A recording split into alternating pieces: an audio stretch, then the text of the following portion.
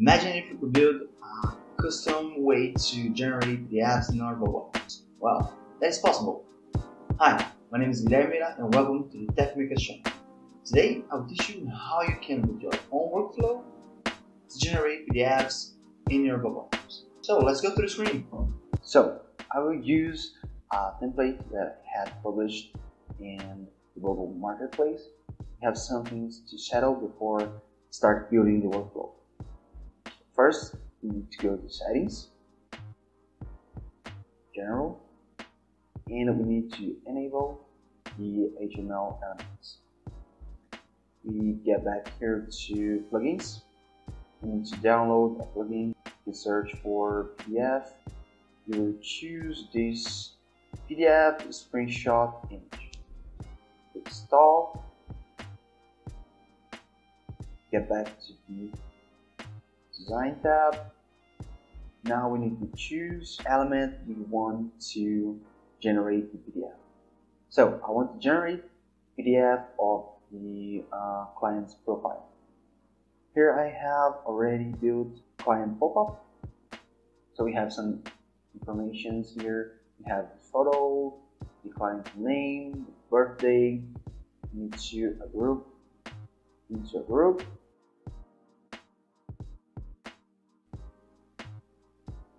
Now we can give an ID and just call um, client.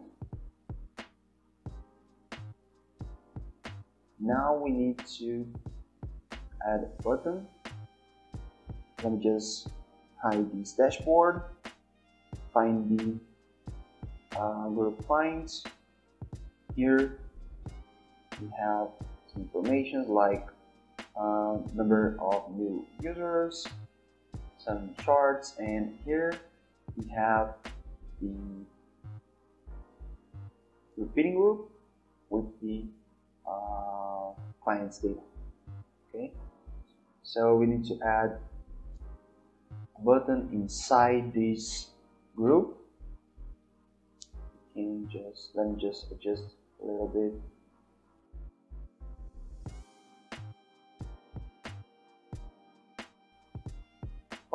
Now we can add a button.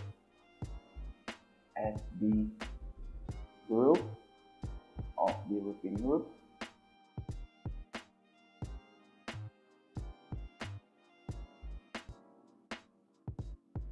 What I want to do is when I click this PDF button, the PDF will be generated and download in the computer. Without have to open the pop-up and then generate the PDF. So what we need to do, create something, um, we need to add a pop-up just to show to the current user that the PDF is being downloaded. So like download loading PDF change the style a little bit.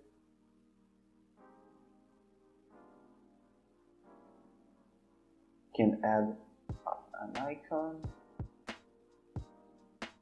Just change the icon to uh, this one. Okay, make it rotate because this pop-up will appear when we click PDF button? Because to do it this the right way we need a um, time to open the pop-up with this client data and to generate the PDF and time to close all of that okay? You're gonna understand a little bit I just uh, pop up download. Yeah. Now we can go to workflow. We need to create three um, custom events. One to close uh, one to generate the PDF one to close the client's pop-up and one to close the download PDF pop-up. First one is to name create PDF type of thing. It's gonna be client. Okay. So here we add action. We get back here to plugins, element. Now we can choose file name that is going to be um, current workflow client name. Okay. Here we need to settle at least 800 and at least 1000 or 1100 the element ID is going to be client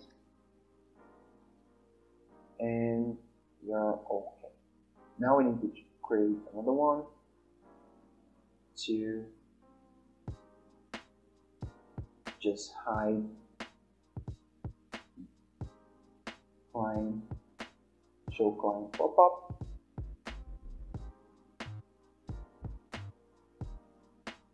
and its names will be type client and another one to close the type download pop-up okay and you can add uh, an action, a hide, and now um, pop-up download PDF. Now we need to get back here, add a workflow to this button. First, we want to open, show the pop-up download PDF Now we want to show the uh, uh show the client PDF. Okay. Oh, I'm sorry. We need to show the pop-up show client display data in this uh, pop-up the display is going to be the uh, parent group client. Now we need to go to uh, custom events. We need to shadow this create PDF and uh, the workflow data is going to be the parent group client. We're going to delay these to uh, 5 seconds. Okay, now when you click to the this PDF button, it's gonna show the uh, pop-up download PDF. It's gonna show the client's pop-up. Gonna display this information of the parent group uh, client. We're gonna create the PDF. Then we need to show another custom events to close everything hide this client pop-up gonna give six seconds and another one to close to hide the download seven seconds okay now it's time to see if everything works click review.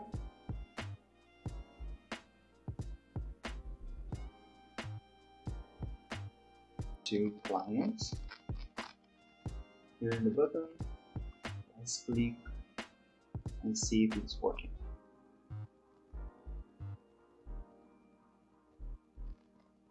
Okay, as you all guys saw, it's working.